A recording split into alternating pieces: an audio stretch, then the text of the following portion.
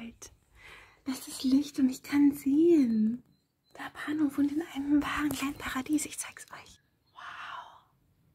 Ist das ein kleines Blumsklöchen oder sowas? Ein Zirkuswagen.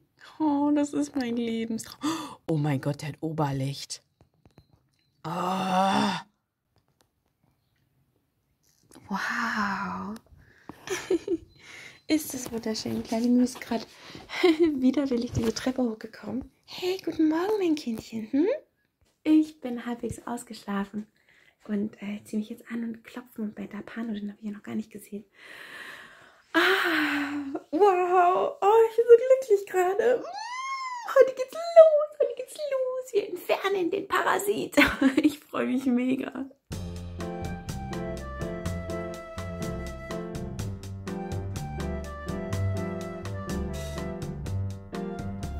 Da habe ich doch glatt vergessen, euch den liebsten Dapano vorzustellen.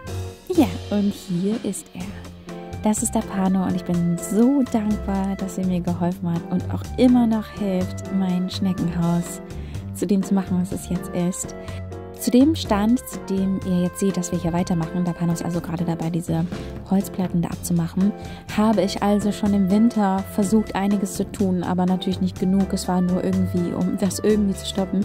Ich habe also mit Schimmelmitteln ähm, da diese Hölzer abgerieben, aber ähm, davor sah das Ganze leider so aus.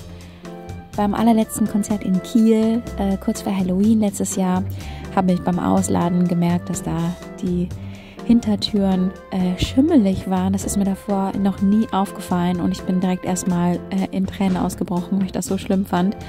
Ähm, ja, und das Ausmaß war also gewaltig. Äh, ihr seht da links unterm Bett ähm, sind da einige Schimmelsporen und ähm, ja, da geht es jetzt also ans Eingemachte.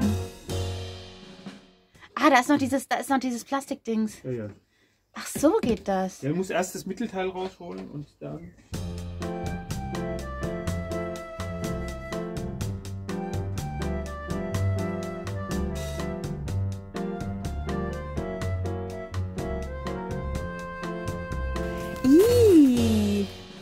Sieht ja total scheiße aus. Äh, und das ist ja von hinten. Ja, ja. Ach krass, da sieht man ja richtig die Feuchtigkeit.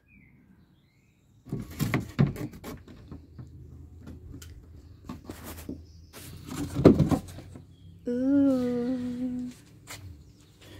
Ja, das ist halt gut isoliert. Ja, wahrscheinlich Der Amaflex. ist das ein bisschen zu viel Ammerflex gewesen. Ja. Ich kann nicht leugnen, dass Stefan mich nicht gewarnt hat. Aber hier unten hat er es freigelassen, ist schon mal gut. Das hat er bestimmt. Ja, nee, das ist, das ist ja wichtig, weil viele Leute wissen nicht, dass, dass so eine Tür immer äh, hier einen Wasserablauf hat, hier unten. Ja.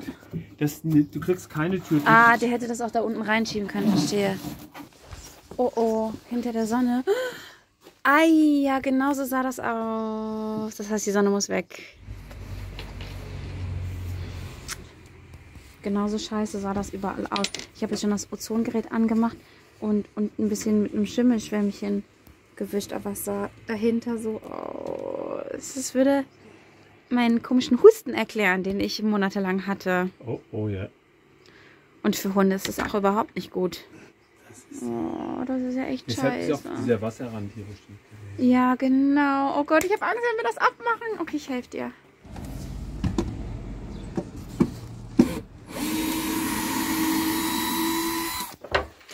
Das ist eine Packung Räuchersalz.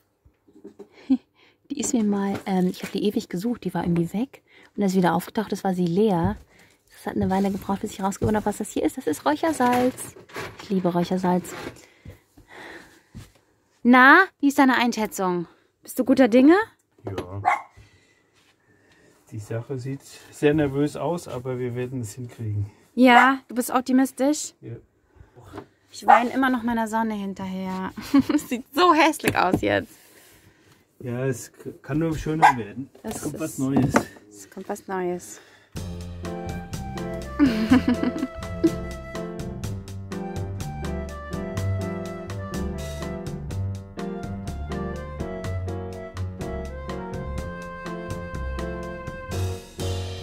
Wir ziehen Richtung Baumarkt.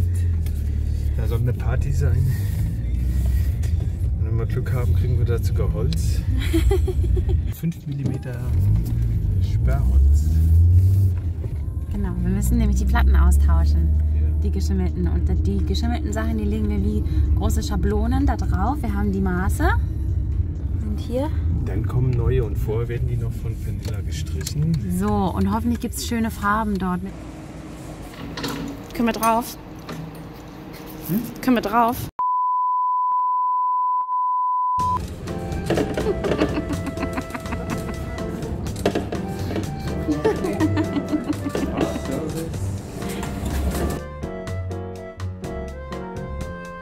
Weißt du schon gleich, wo wir hin müssen?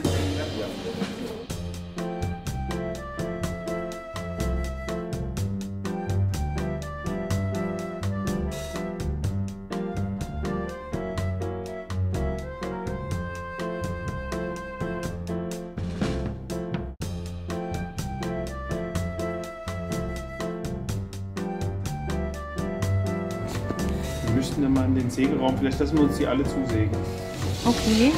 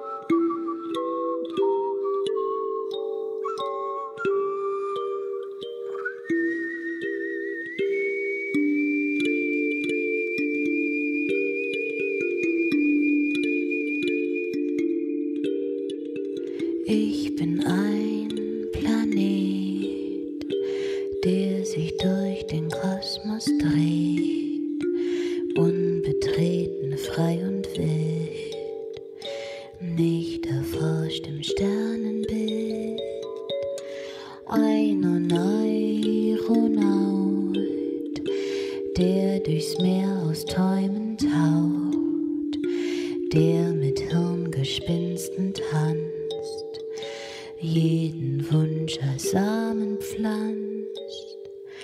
Und hier in meinen Gärten, meinen goldenen Gärten, hier verkriech ich mich, wenn mir die Welt so grausam ist.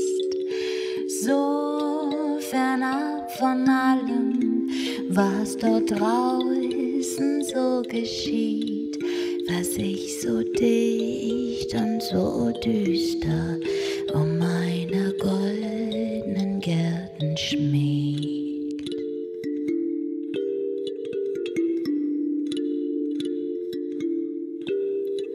Und eigentlich weiß ich, mein Planet bewegt sich nicht. Die Erde ist ein Karussell, dreht sich um mich viel zu schnell. Ein bemaltes Pferd, was immerzu im Kreise fährt. Ein türenloser Zug, der laut durch unendliche Tunnel rauscht.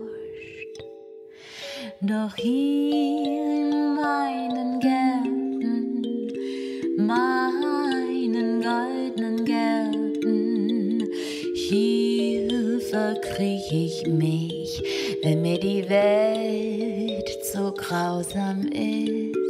Guten Morgen. Ich bin heute mit bester Laune aufgewacht. Es ist ein neuer Tag, es geht los. Hier ist die kleine Mühe, die ist noch am, am Frühstücken. Da habe ich ihr schon die Kissen hingelegt, da kann sie da in unsere Nähe kommen. Und der Pano war heute Morgen schon ganz fleißig und hat angefangen, boah, sieht das toll aus, die schimmligen Bretter als Schablone zu benutzen und zuzusägen.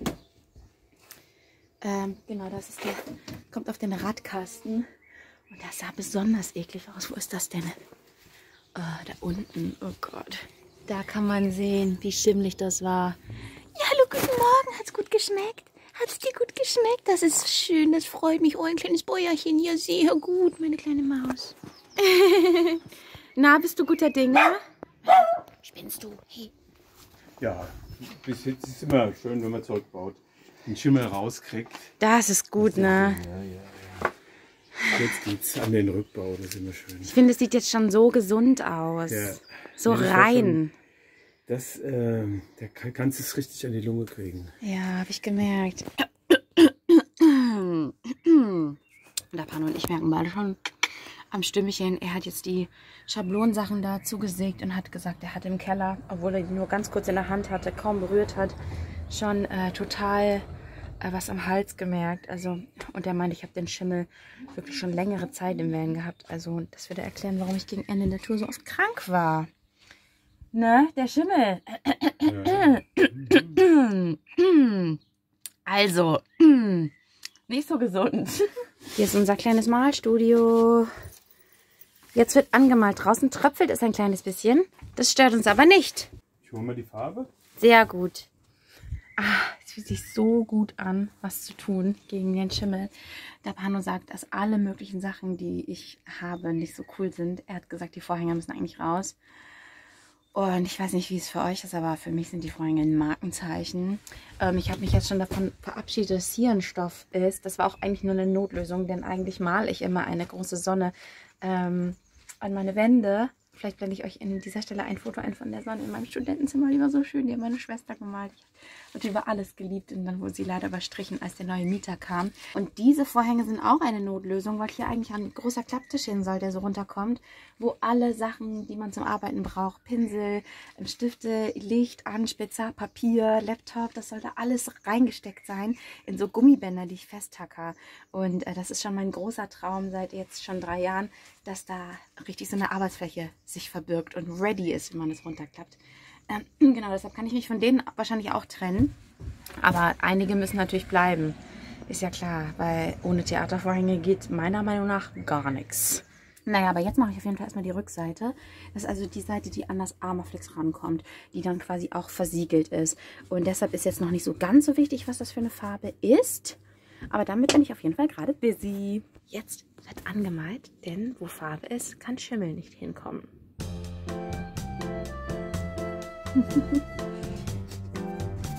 So, das war der erste Streich. Wie ihr seht, wir sind schon ganz schön weit gekommen, aber wie ihr auch seht, wir sind noch lange nicht fertig. Ähm, ich habe euch natürlich weiterhin mitgenommen.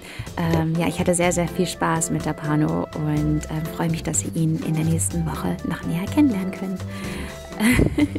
Hier seht ihr einen kleinen Einblick in meine absolut professionelle Arbeitsweise. Ich bleibe also überall mit den Haaren hängen und ähm, ja, weil ich irgendwie keine Malersachen anhatte, sondern meinen geliebten Norweger Pulli, habe ich mich natürlich auch eingesaut, ist ja klar. Und danach direkt so weitergemacht wie vorher. Das bin ich. Ja, ich wollte euch nochmal Danke sagen, dass ihr bis hierher geschaut habt. Wenn ihr mögt, könnt ihr ja, äh, um zu zeigen, dass ihr bis hierhin geschaut habt, ein kleines geheimes Symbol in den Kommentaren hinterlassen. Vielleicht etwas richtig Unerwartetes, was normalerweise gar keinen Sinn ergeben würde. Ähm, wenn ihr bis hierhin geschaut habt, dann tut doch eine Ananas in die Kommentare. Ich freue mich darüber. Ähm, ja, und dann wollte ich euch noch erzählen, dass mich diese Nachricht hier von Winnie erreicht hat. Das Einhorn ist für 80 Euro weggegangen. Ähm, ihr habt fleißig ähm, gesteigert und das Einhorn ist jetzt bei einem Wesen zu Hause und reist um die Welt. Zu wem es gekommen ist, der darf sich doch mal gerne melden und Bescheid sagen, ähm, was er mit dem Einhorn so vorhat und uns vielleicht kleine Updates davon schicken. Ich würde mich sehr darüber freuen. Die 80 Euro sind an die Tafel gegangen und ich finde es ein richtig cooles Projekt. Ja, und jetzt sage ich, ähm, bis nächste Woche, Sonntag, 21 Uhr, geht's weiter. Jetzt freue ich mich wahnsinnig über eure Kommentare. Ähm, schreibt mir doch mal drunter, ob ihr da Pano schon kennt, ob ihr ihn auf einem der Wesentreffen getroffen habt. Zum Beispiel in Leipzig war er. Ähm, ja, ob ihr ihn auch so mögt wie ich. Ob ihr auch schon mal irgendwo Schimmel hattet, ob ihr euch auskennt mit Van-Ausbau, ob ihr das Gefühl kennt, diese ganze geliebte Scheiße einmal rauszumachen und alles wieder rein, ob ihr mich da verstehen könnt. Ähm, ja, und jeder, der mich jetzt hier unterwegs sieht, wie ich jetzt gerade auf Tour bin und sieht, dass das Schneckenhaus aussieht wie eh und je, weiß vielleicht, wie viel Liebe da noch reingeflossen ist. Mehr davon nächste Woche. Ich freue mich auf euch. Habt's schön. Tschüss.